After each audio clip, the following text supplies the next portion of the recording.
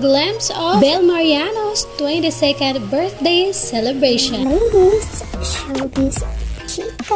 Yes, indeed.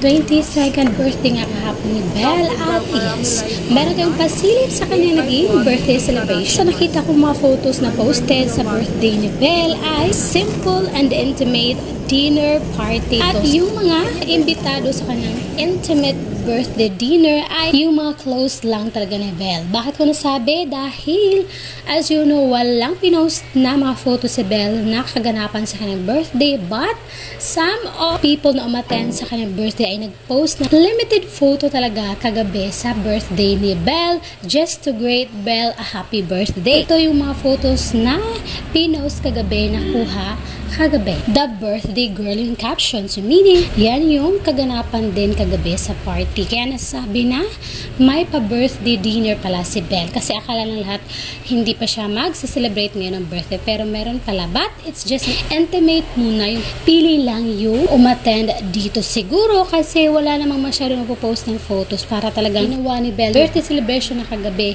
na intimate lang talaga. Yung walang masyadong makakaalam kung ano kaganapan sa Salamat sa mga nag-post ng photo dahil hindi tayo sa party ni Belle. At ito na nga, naka-black dress si Belle. Tingnan niyo naman ang fit ng katawan dito ni Belle. O diba, napaka-sexy si Belinda. At nag-post din dito sa Joao ng photo. In fact, tatlo lang sila na nag-post ng photo sa birthday celebration ni Belle kagabi.